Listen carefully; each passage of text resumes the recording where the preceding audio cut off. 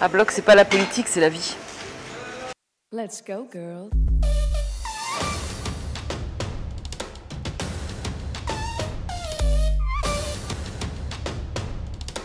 Pour moi, être à bloc, euh, bah, c'est se sentir bien dans son corps, c'est être très en forme, Et euh, quand on est fier de soi surtout. d'avoir une bonne hygiène de vie et d'être euh, bien dans ses baskets. fixer des objectifs et d'essayer de les atteindre et même voire de les dépasser. Être toujours au taquet, être toujours euh, dans l'énergie, dans la positivité. Une petite musique dans les oreilles, euh, quand on a bien transpiré. Être à bloc, c'est quelqu'un vraiment qui donne tout. Et pour moi, être à bloc, c'est être plein d'énergie et au top de sa forme.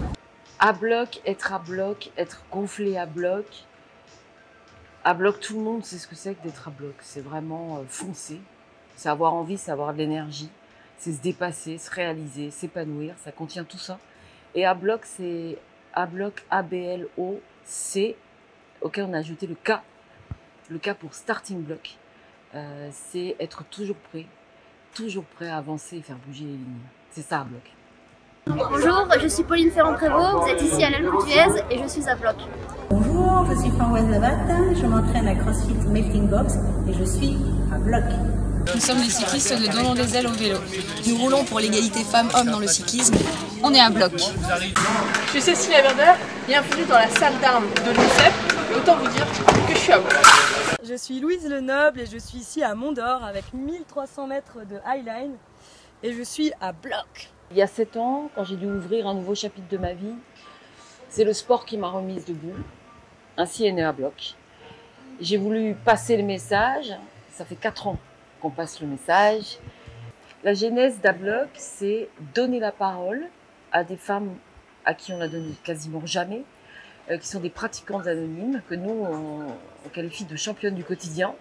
Et ces femmes-là, euh, l'idée, c'était qu'elles nous racontent de quelle façon elles vivaient leur sport, ce que le sport avait apporté dans leur vie, les bénéfices du sport. Et donc les premiers contenus, ça a été ça, ces témoignages-là. Et ensuite, on est allé évidemment sur les championnes olympiques, les championnes du monde, mais toujours avec des contenus inspirants. Et on a de l'histoire, des sagas, des initiatives pour nous mettre en mouvement, des enquêtes, des portraits.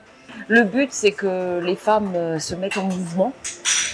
Et le plus difficile, en fait, ça c'est vraiment euh, la mission que je me suis fixée, je prends mon bâton de pèlerin, c'est comment réussir à en faire à faire comprendre que euh, le sport euh, change la vie, le sport comme vecteur de progrès de l'égalité femmes-hommes. Au fur et à mesure de, nos entretiens, on s'est rendu compte de, des freins, on s'est rendu compte des peurs, on s'est rendu compte des doutes, euh, et donc des stéréotypes de la pratique euh, féminine, en tout cas dans la pratique féminine. Et on a commencé à donner la parole aussi à des expertes et des experts, des historiens, des anthropologues, des sociologues, des psychologues, euh, des, coachs même, pour nous parler un petit peu de, ces stéréotypes dans le sport euh, féminin, ou en tout cas où en était la place des femmes dans le sport aujourd'hui. Sur, euh, sur un bloc, euh, moi j'aime bien dire que les sportifs prennent le pouvoir. Aujourd'hui, plus on va donner la parole aux sportives hein, et plus évidemment on va faire avancer l'égalité femmes-hommes dans, dans le sport. Sur un bloc, on a donné la parole à une, championne d'aviron qui a été victime de harcèlement moral, Clara Maninduc.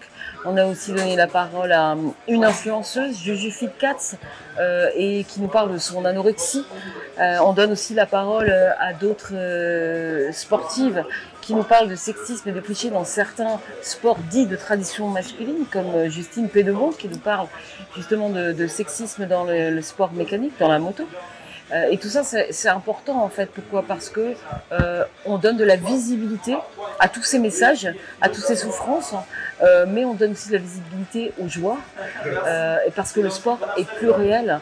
Et, et si l'idée première d'Abloc, c'est de mettre les femmes en, en mouvement, euh, c'est aussi évidemment d'effacer, en tout cas de tenter d'effacer euh, tout ce qui est cliché et stéréotypes euh, qui, qui prennent parfois le pas sur la pratique sportive. Depuis le début d'Abloc, euh, j'ai toujours eu l'ambition d'aller au-delà des mots et de passer à l'action. Il y a euh, un peu moins d'un an maintenant, en septembre-octobre de l'année dernière, Abloc a passé un cap en prenant une ambassadrice pour, représenter euh, le média.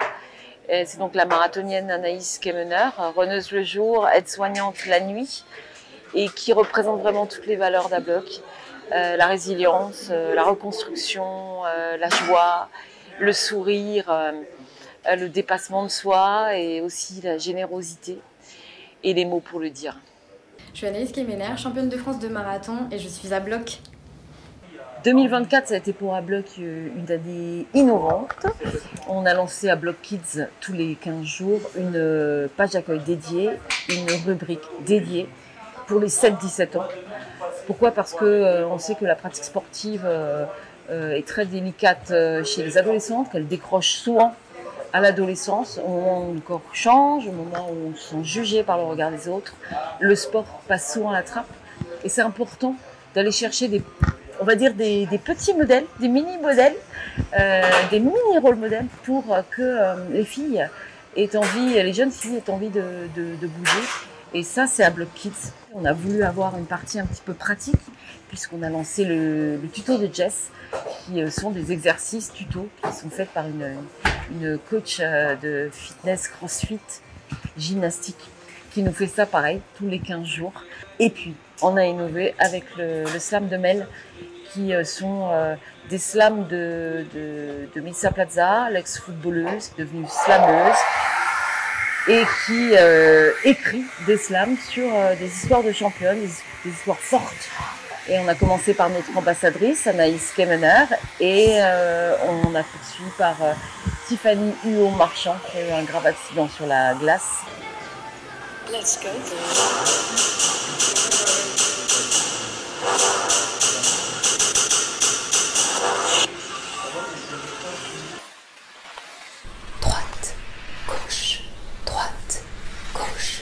Je suis dans le flot. Droite, gauche, droite, gauche. Comme l'impression de patiner sous un halo. Je sens le vent, délicieux sur mon visage. J'incline le buste, mes doigts frileux sur la glace dans le virage. Droite, gauche. Je suis saisie. Saisie par le froid, de l'eau qui coule entre mes doigts, saisie par l'ivresse, glissée, poussée pour atteindre la pleine vitesse. Droite, gauche, le dépassement, l'adrénaline et les frissons que je ressens sur la ligne, c'est viscéral. Quand je fends la piste, je me sens comme toucher les étoiles. Droite, gauche. Et ça, pourquoi? Parce qu'on a besoin de développer des formats ludiques, des formats originaux, inédits, pour pouvoir intéresser les, les hommes, mais aussi les femmes, surtout les femmes, au sport, euh, à la place des femmes dans le sport, parce qu'on sait que culturellement, euh, les femmes ne lisent pas de sport, parce qu'on sait toujours, tous les journaux sont toujours adressés aux hommes et pas aux femmes. Et donc, euh, il est important de donner des contenus différents, des contenus étonnants, surprenants, pour pouvoir attirer les femmes et les séduire dans des contenus qu'elles n'ont pas l'habitude de, lire. Euh, Aujourd'hui, on a une belle communauté, on arrive à fédérer super bien, euh, tellement que bah, on a plein de, sportives anonymes, c'est génial, qui nous écrivent pour témoigner. Ça prouve quand même de la pétence qu'ont les femmes pour parler, pour s'exprimer, pour raconter leur passion. Et c'est ça finalement qui est, qui est bouleversant. Parce que quand on leur donne la parole et qu'elles nous écrivent qu'elles ont les larmes aux yeux, qu'elles ont revécu des choses fortes en nous ayant raconté tout ça. À Bloc, c'est ça aussi en fait. À Bloc, c'est un espace d'expression, c'est un espace d'émotion, euh, c'est vraiment un endroit particulier où, où on va être davantage dans l'émotion, dans l'humain, que dans euh, l'institutionnel, que dans le politique. Parce que moi, j'ai toujours considéré que euh, à Bloc, ça devait être un outil en fait pour faire bouger les lignes, mais euh, tous ensemble et par l'exemplarité. Soyez à Bloc avec nous. Let's go, girls.